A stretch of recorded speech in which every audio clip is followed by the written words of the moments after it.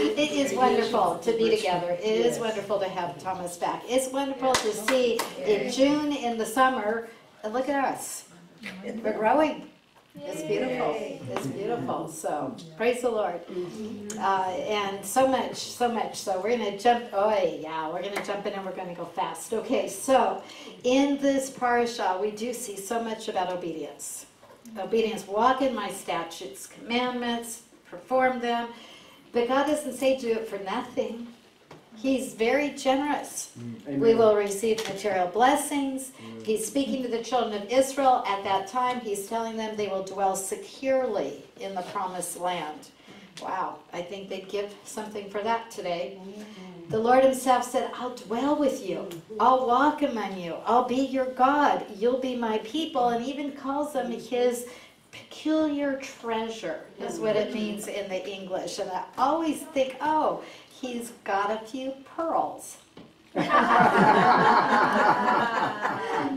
he does. If you didn't get that one, let it go. He also brought to their attention disobedience. If they disregard his commandments, if they are covenant breakers, there are consequences. And that's only fair, right, just, you know, that is the way it should be. So he had warned them that there would be all manner of distresses, that they would have all kinds of issues in their lives. And I'm not going to say if you have these issues that that means you're being disobedient, because it's not that.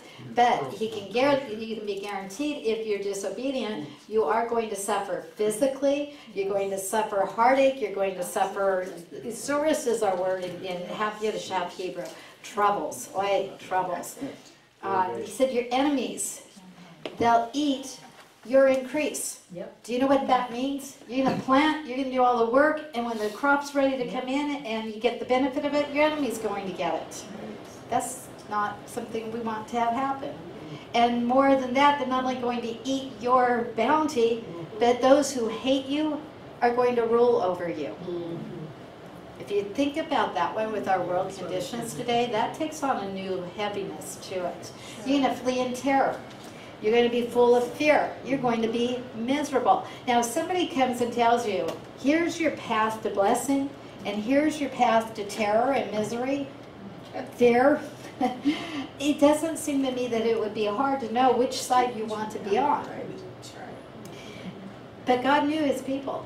And he told them, I've got to add on one more to this. Because if you still don't return to the Lord, and that's the whole purpose of why he allows you to have those consequences, is to turn you back around and get you to look to him and get in right relationship with him. And he warned them, if you don't, I'm going to let you be exiled. You're going to be kicked out of the land of milk and honey. You're going to find yourself banished. And when you're banished from the land, you're being banished from my presence. That's the heaviest one of all. That's, we talk about how we feel his presence here in our worship uh, and, and in our time in the Word. Wow, wow. But nonetheless, despite all the warnings, he said, you're going to be disobedient. God knows. You know, you don't hide anything from God, and you can't fool God. And he knows, and he knew ahead of time. And he said, I know this will happen, and I know you'll go into captivity. But you know what he never said? He never said, I'll leave you there. He never said, I'm done with you. He never said, and it's all over. You're not mine. To the contrary, he says, my love and my mercy, I'll never fully depart from you. And when you humble your heart and when you turn back, I'm right there. I'll forgive your iniquity. Mm-hmm. When we read in our parsha in, in Vayikra, uh, Leviticus chapter 26 and verse 42, he's saying, when you turn back to me with your heart, he says, I'm going to remember. He doesn't say I'm going to remember all you did and drag that out. No, to the contrary, he says, I'm going to remember the covenant I made with Abraham, the covenant I made with Yitzhak, the covenant I made with Yaakov, with Abraham, Isaac, Jacob. He starts with Jacob. Okay, Some, I read it. Oh, Jacob. okay. Yes, she's right. She's right. Then I will remember my covenant with Yaakov, and my covenant with Yitzhak, and my covenant with Abraham. I thought as, as well, and I will remember the land. And that goes all the way back. Mm-hmm. This, I'm glad he has a good memory of the good. and in verse 44, he says, In spite of this, when they're in the land of their enemies, mm-hmm. I will not reject them, mm-hmm. nor will I so loathe them as to destroy them. Breaking my covenant with them? No, for I am the Lord their God. He's the faithful one. Mm-hmm. And I want to remind everyone today who thinks that Israel, it's done, it's over, oh, and they're replaced. No, Oh, wait. Never, never, Oh, wait. But the question is, how are they going to be obedient? How do they do that? Of course, we can apply how do we do it. And by the way, if you didn't get it the first time, when we get to Davarim to Deuteronomy chapters 30 through 32, we're going to go through this all over again because he lays it all out there too. He, God tells Moshe, Moshe is about ready to pass the baton on to Yeshua, and he tells him, here's your history, here's what you've done, here's what you're doing, here's what you're going to do. And he tells them, don't, when you get into the land, forget God. But you're going to. Just, and it isn't that they are defeated because they hear that. It's that God's saying, no surprises. I know your human condition. I know the need, and I'm not going to walk away from you. But what I am going to do is I'm going to give you that book of the law. That book of the law is going to testify against you. If he didn't give them the law, then he can't hold them accountable. That isn't fair. If you don't know that this is the rule, then you don't know that you're breaking it. That's not fair. But God has to give it to them. And he has to give it to them with righteousness and with justice and with holiness because that's who he is. And that's what the law is meant to be. It's not meant to be a burden. It's not meant to be a hardship. It's not meant to be impossible. And in fact, before we end, and if I forget, someone remind me to say it because God tells us how to do it. Mm-hmm. But right now, at this point, we see all this. We know that the, the diaspora of today, and we Jewish people in this room are living proof there's still a diaspora today mm-hmm. because we're not in our homeland. And that's going to go on. It's going to happen even though he's giving them all these ways to be obedient and not have that happen. He's going to give more vows, more how to tithe for the sanctuary, how to dedicate everything from their animals to their people to their houses, everything. And then it emphatically ends with verse 46. And at verse 46, he just simply says it. These are the statutes and the ordinances and the laws which the Lord established between himself and the sons of Israel through Moshe on Mount Sinai. Fact. Fact. Today, they want no facts. Hmm. God said, it. this is it. So I'm going to ask you, well, then what hope? I can hear the people saying, how? Wake of Fox? How are we going to do this? What do we do? Very interesting. I love God's timing. You all know that. I love to speak on His timing. It comes out time and time and time again because God is in our timing. And we are coming right up. That's why I knew that we're at, at day 39. We're coming up to the 40th day in the count of Omer. Sundown Saturday night to sundown Sunday night will be the 40th day.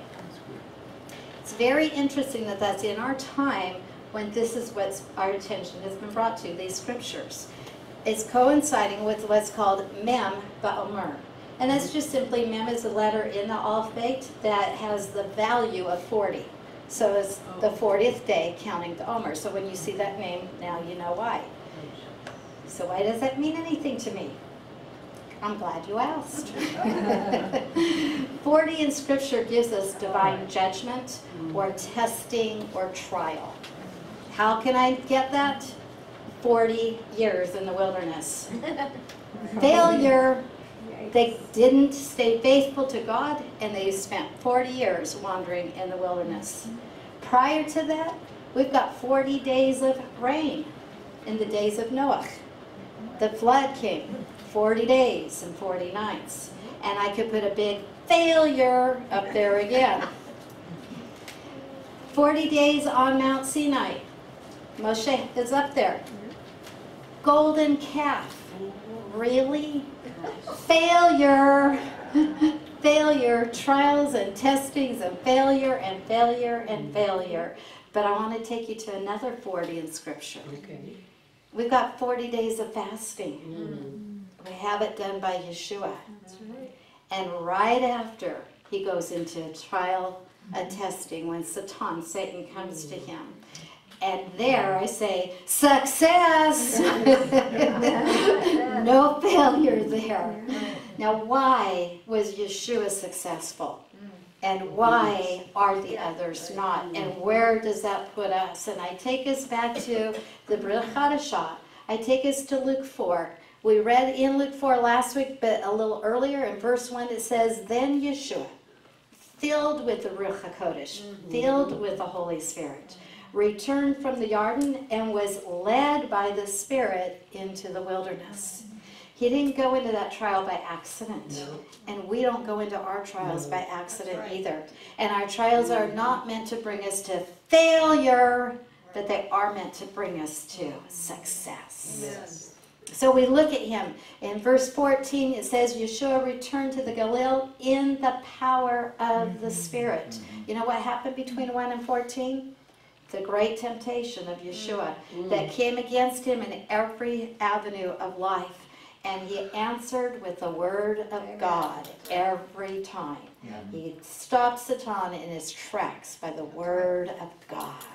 And he did it at a time that the flesh was to the point of starvation. Mm. Because they say at day 40, starvation sets in, and your mm. body starts dying from the starvation. Mm.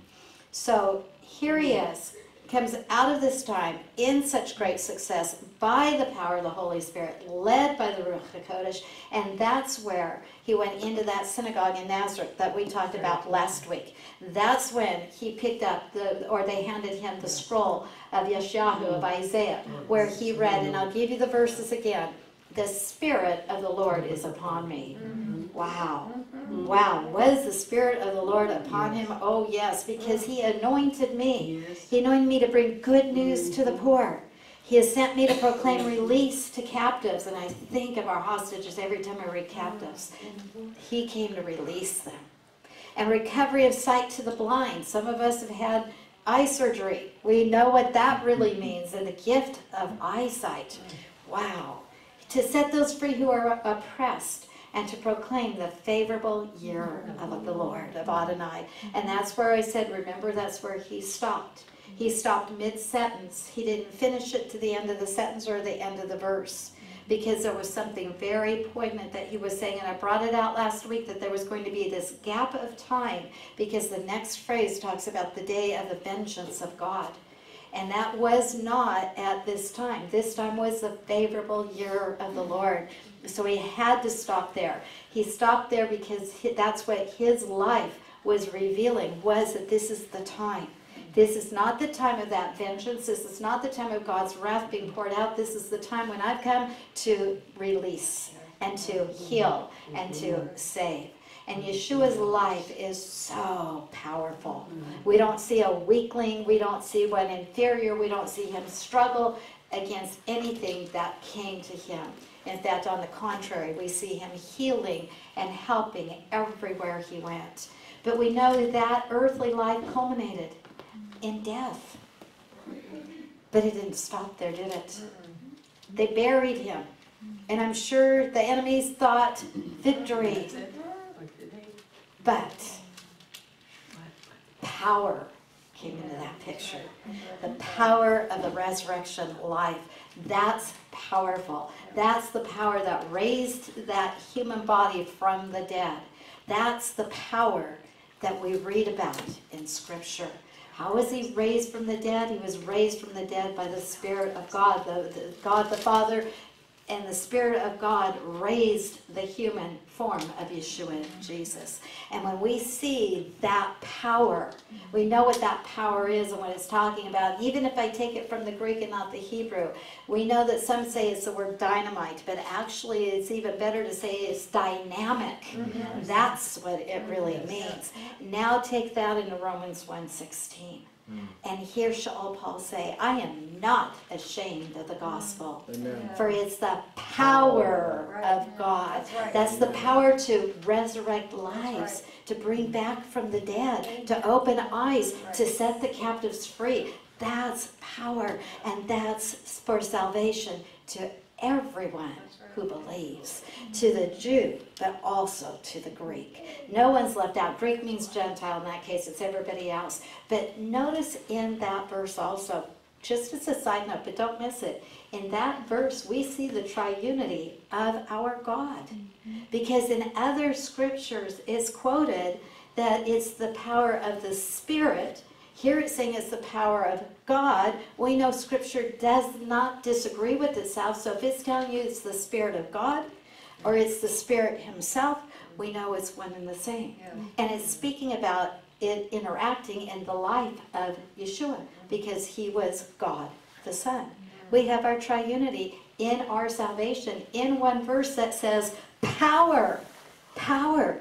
We have no right to be weaklings, folks. We have no right to struggle. We've got power available to us. We have power that God's just dying to ooze into your body and let it eke out. That's what He wants to do. And it doesn't stop here. If I stopped here, I'm stopping short of the complete story. Everybody thinks, well, that's it. Death, burial, resurrection. And I'll say hallelujah to all that, but that's not the end. Right. Remember, we're talking about 40. We're coming up to day 40. Something very important happens on day 40. This is the 40th day since he resurrected. And this is mighty powerful. This is eyewitnessed. This isn't hearsay. This is eyewitnessed. Some of these who eyewitnessed it saw the resurrection. Saw well, they saw the after effect. They didn't see him raised, but they saw that he was raised. But what happened on the 40th day? What happened on Mem Ba'omer? He's Walked here. with them. The. I'm, I'm, he- I think I'm hearing it. He ascended. He ascended. This is when he was going to go up into heaven. Now think about it. He knows this is his last message with them. This is the last time he's going to be talking with them. If you knew that you were going to be leaving your beloved, and you knew you were their leader, and you knew that you were empowering them, you've been guiding them, you've been leading them, you've been directing them, you've been living it out in front of them, your last words are going to be very important to them. Very important. And he's going to be a good leader because he's going to leave them instruction. But again, let me remind you, and by the way, I love this fact too. When we hit that 40th day, the way we always say it is we say it in weeks and days. It happens to be five weeks and five days. And what is five in Scripture? Grace. Grace. Grace. Grace of our God, grace of our Lord. You would say, well, how is it grace? He's leaving them. Because he says, if I go, y'all are ahead of me. The mm-hmm. Spirit will come. The Spirit's going to indwell each one of you individually. You know, Yeshua confined himself in a body. He was in one place at one time. The Spirit doesn't confine himself, and he's able to be in all that are open to him.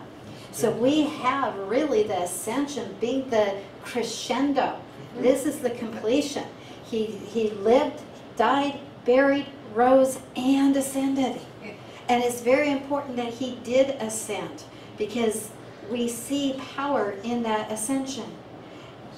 You know, they tried to say he didn't raise. He could have just simply disappeared off of the scene and it would fit right in. Oh, yeah, see, they hid his body somewhere. But he doesn't do that. In front of an audience who can give eyewitness account, he shows them his leaving. He doesn't just magically disappear. and I'm taking you to Acts 1. And the description of Yeshua there, what he did and what he taught is given to us by the book of, or by the author of Luke. And a lot of people want to say he's Gentile, but I think we've got ourselves a Hellenistic Jew here. I think there's at least part, if not more than that. We can argue that another day. No one can be 100% because Scripture doesn't say it, but it just seems mighty strange that the whole book is Jewish. Jewish from beginning to end. One author that wasn't? It's Dr. Luke. he is a doctor, yes. Everybody wants their sons, that all Jewish mamas Yeah. want their sons, a doctor or a lawyer. Right, right. Right, Janet? Yeah. But verse 2 says that it was until the day that he was taken up to heaven after he had given orders by, and he doesn't say by himself. He didn't say, I'm giving the orders. He said the orders are by the Ruach HaKodesh. The orders are by the Holy Spirit. And once again, we see our triunity because Yeshua said, I came to do the will of the Father. I speak what the Father gives me to say. And now he's saying it's by the power of the Spirit. And here he is claiming to be God himself also. So once again, we've got our triunity. Once again, we see Yochanan John 6:38 was that, that he came to do the will of the Father. Now he's doing the will of the Spirit, and he is the one who is equal, so he can do and be. Verses 3 through 8, though, back in Acts, say, To these he also presented himself alive after his suffering by many convincing proofs. He proved it again and again and again. He didn't just show up once, he showed up here, he showed up there, he showed up to one, he showed up to 12, he showed up to over, what, over over 500 by the time our count is done. You take 500 eyewitnesses into court and you win what your 500 eyewitnesses said happened. And by the way, have you ever heard 500 agree Right. Unless you're in New York. in New York? Okay. Well, he's convincing proofs. He convinced them over a period of 40 days, and he's speaking things regarding the kingdom of God. Now, that shouldn't be anything strange. The kingdom of God is what's been promised to the Jewish nation. He is talking to the Jewish people. He's still working with the Jewish nation, and he's still promising them that coming kingdom. It's not all over, it's not off, and it's not given to somebody else. It belongs to Israel. Verse 4 Gathering them together, he commanded them, Don't leave Jerusalem, but to wait, and their wait for what the Father has promised. Which, he said, you heard it of from me. The Father promised it, you heard it from me. For Yochanan, John baptized you with water, but you'll be baptized with the Ruach HaKodesh not many days from now. He's promising them the Spirit. I see all over this our triune God at work in behalf of these Jewish believers, because that's who it starts with. Mm-hmm. But it doesn't exclude. Remember Romans 1.16, it doesn't exclude. Mm-hmm. So verse 6, so when they come together, they began asking him, saying, mm-hmm. Lord, is it at this time that you're restoring the kingdom? Once again, oh, kingdom to Israel. Let me put the whole phrase in there because it's to Israel. It's, Are you going to bring the kingdom now to Israel? Mm-hmm. Now, you would think, why are they asking that? Because they're good Jewish boys that have been told again and again and again that that's what is coming. The kingdom of God is at hand. This is what's coming. And they know to expect the fulfillment of the promises. Nowhere are they saying, well, it, it, we lost it. It's over. It's been forgotten. No, they were expecting it. And why this would be a good time? Because they were being um, oppressed.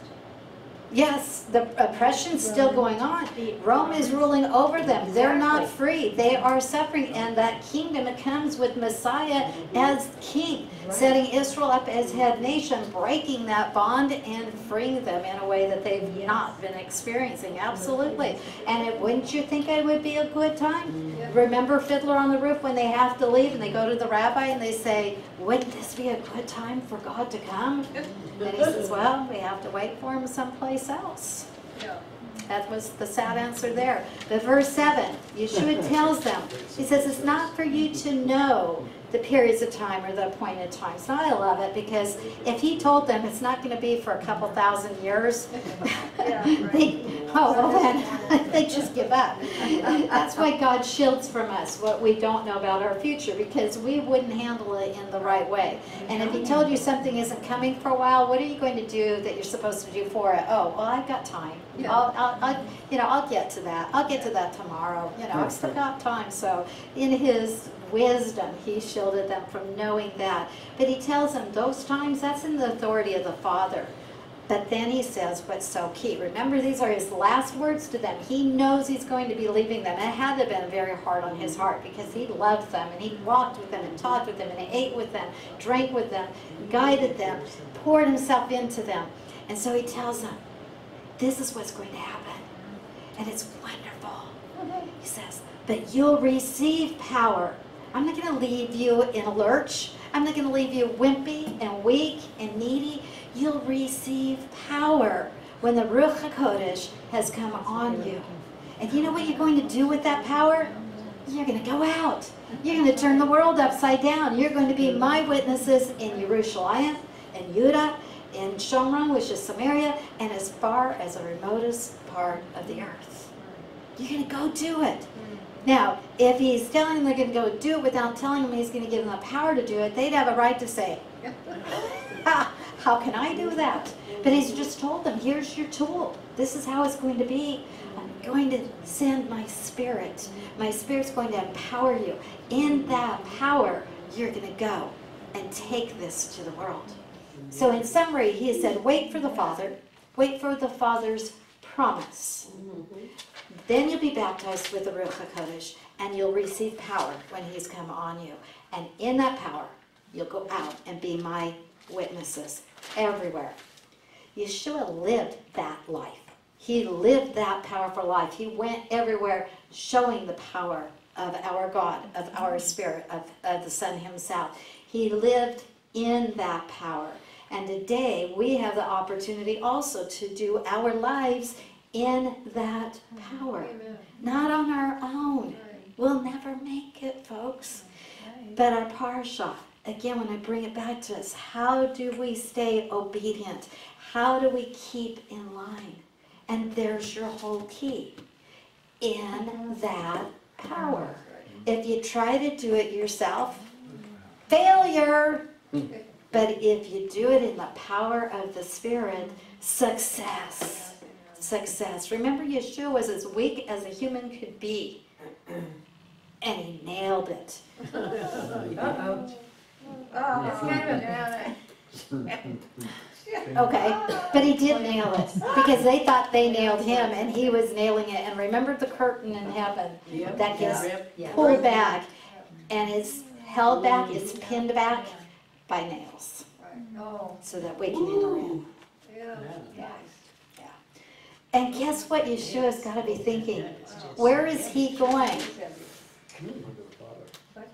And where's the Father? And where did Yeshua come from? So Yeshua's going home. Exactly. And I can only imagine having left the glories of heaven, how hard that must have been. He had to have been excited about going home. And that's why I want to take you real quickly, read it on your own, but go to Revelation 1. Because Revelation 1 is a description of oh, him at home.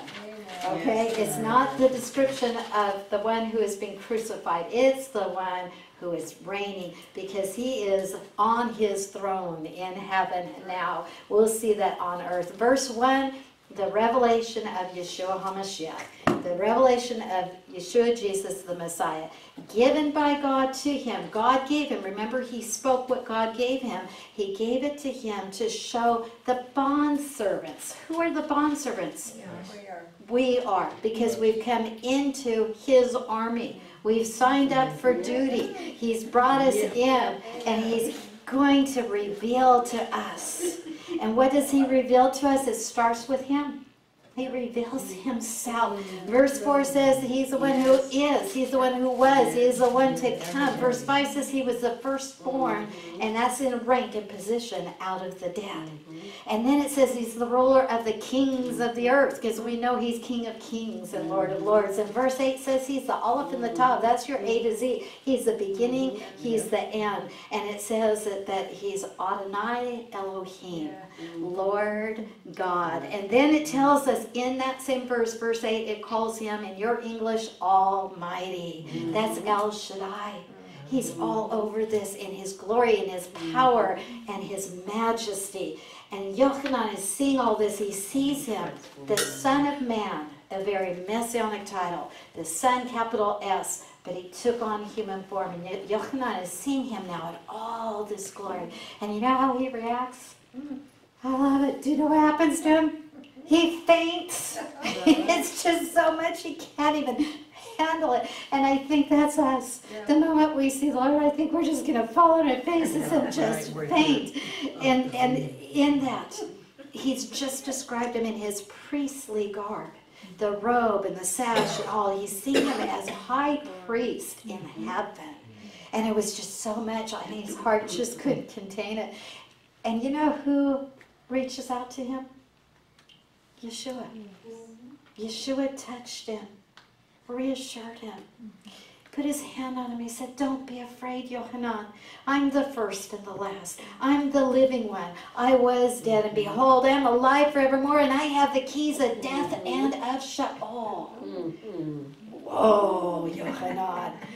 Wow. Not only do we have Adonai Elohim, not only do we have El Shaddai, not only do we see the beginning and the end, the one who is, who was, and is to come, we're seeing this huge picture. And then he brings it home. And he says, I'm alive forevermore. I've conquered death.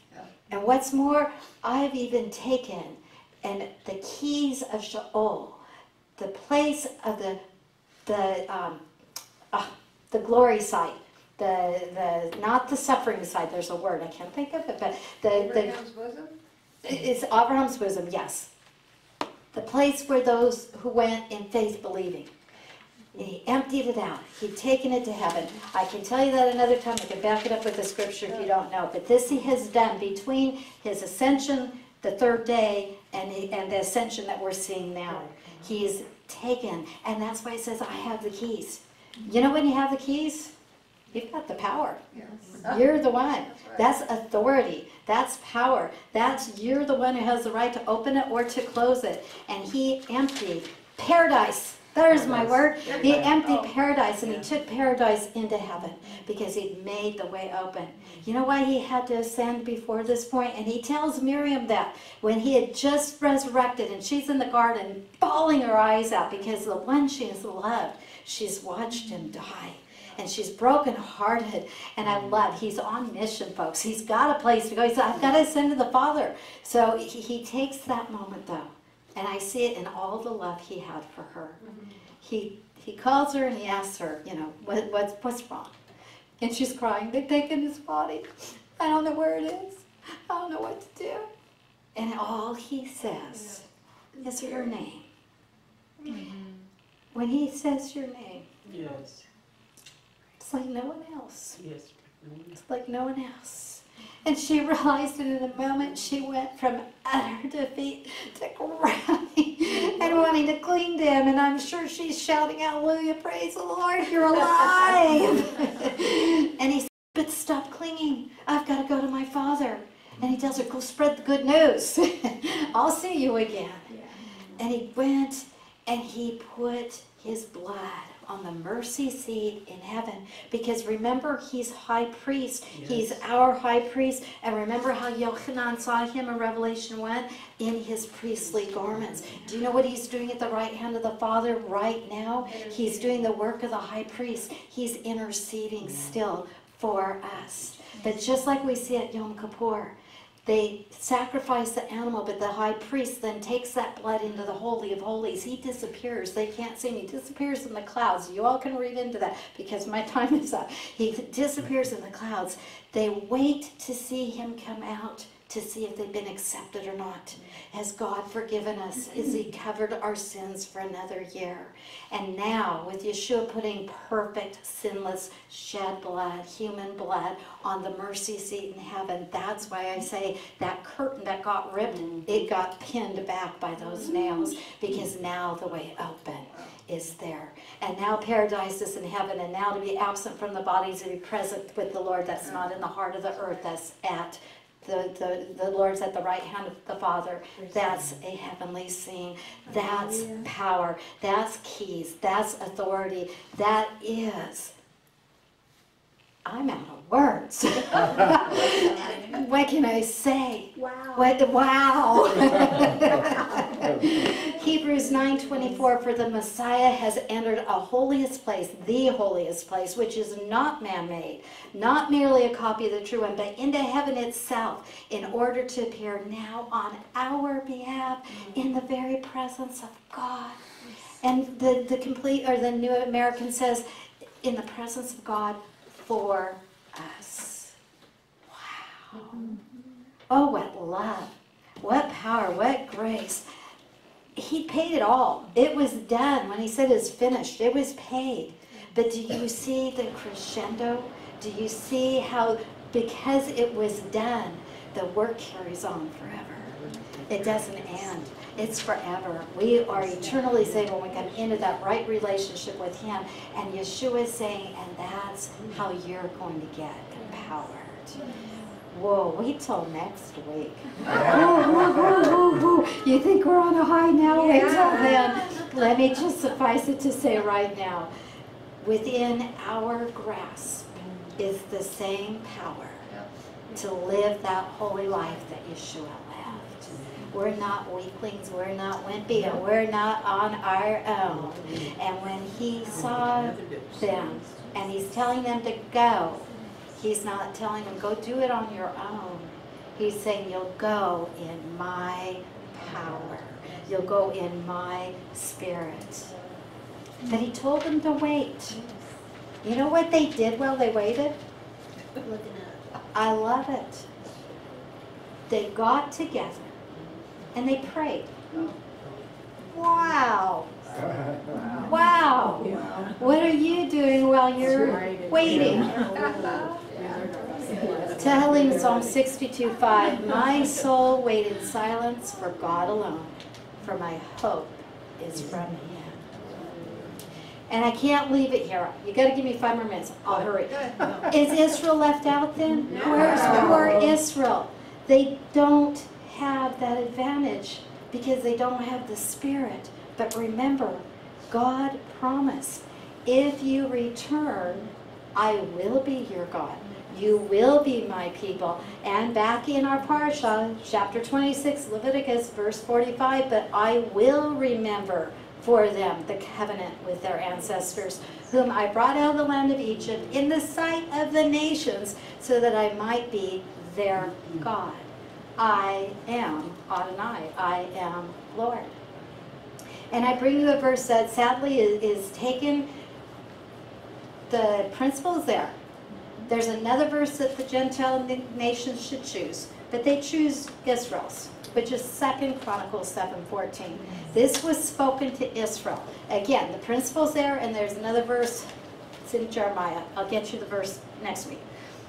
And my people, who are called by my name, when they humble themselves and pray and seek my face and turn from their wicked ways, then I will hear from heaven. I will forgive their sin. I will heal their land.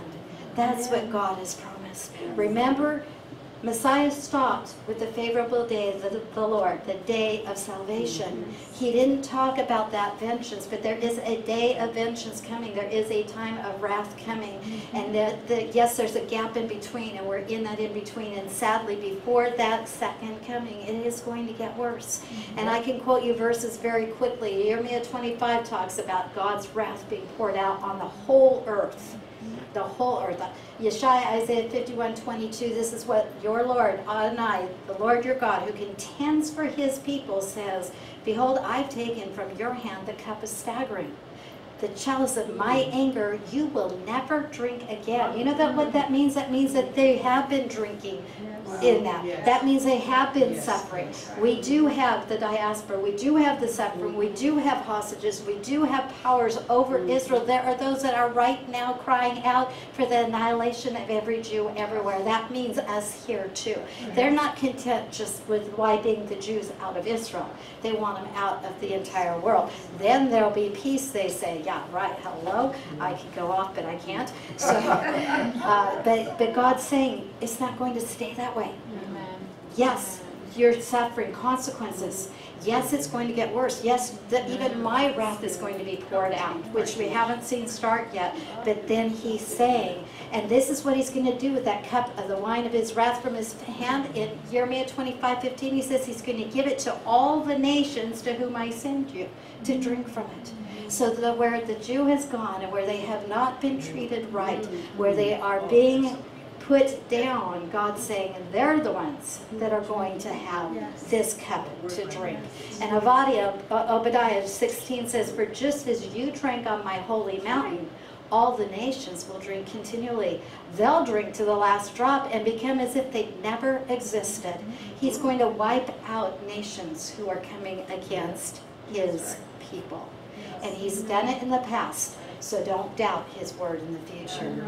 Revelation 14:10 says he, he referring to the Antichrist, the one who thinks he's all this, puts himself on the throne in the temple to be worshipped as God. He says he will drink of the wine of the wrath of God, which is mixed in full strength. It's not diluted in the cup of his, of God's anger. He will be tormented with fire and brimstone in the presence of the holy angels and in the presence of the Lamb, and that will be forever.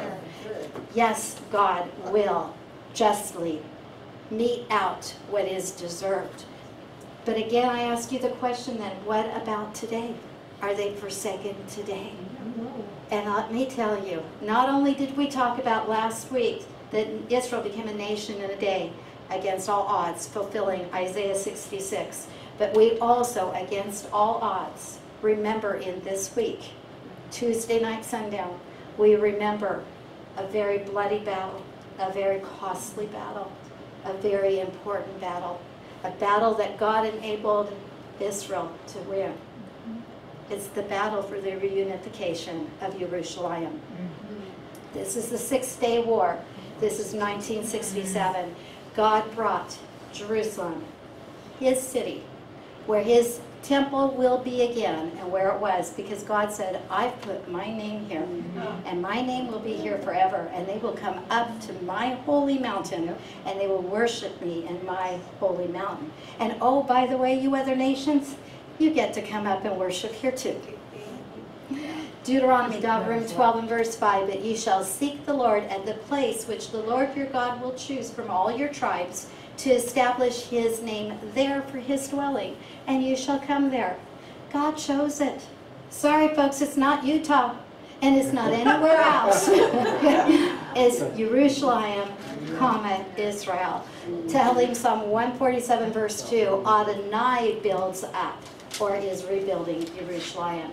He gathers the outcasts, the exiled, the dispersed. He gathers those of Israel. That's what's happening. And I don't know how Janet and some of the others feel right now, or other Janet too, but I could feel very much an outcast right now mm. because of the way this world mm-hmm. refers to me. Mm-hmm. What's his purpose? Tehillim Psalm 132, 13 and 14. For the Lord has chosen Zion. Zion's a name for Jerusalem, it's a name for all of Israel, but specifically Jerusalem.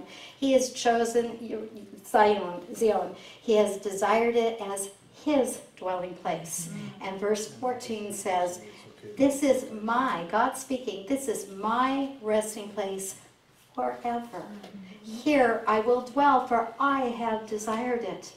So all of you who want to give that to Hamas or to an Arab population who want to say that's theirs, I have news for you.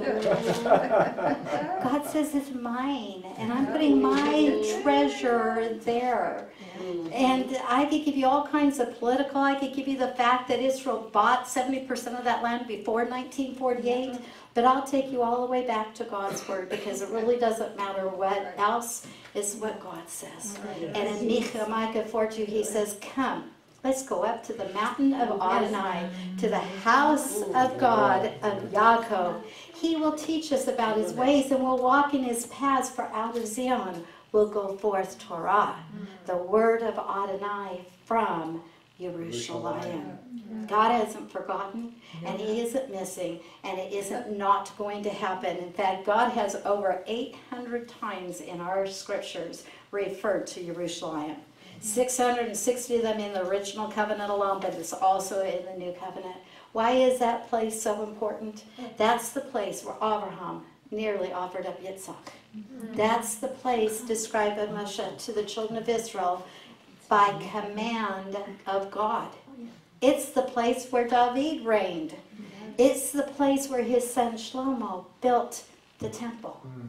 It's where the Holy of Holies was established.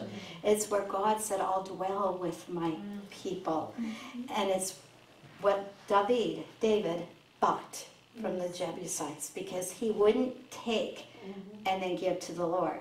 He bought it. Mm. What does that reunification have to do?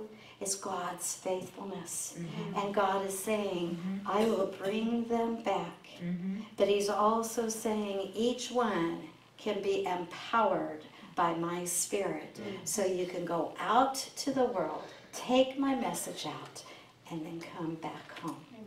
This is the plan of our God. He has chosen to put His name on that land forever. And in His faithfulness, it will be done. You know how God looks at time? He looks at it done. He sees it already done. We're just catching up, folks. So in your struggles today, in your time of waiting, I encourage you, wait on the Lord. Wait in prayer. Wait in His Word. And whatever you are facing, God will empower you with His Spirit. And you will not have failure.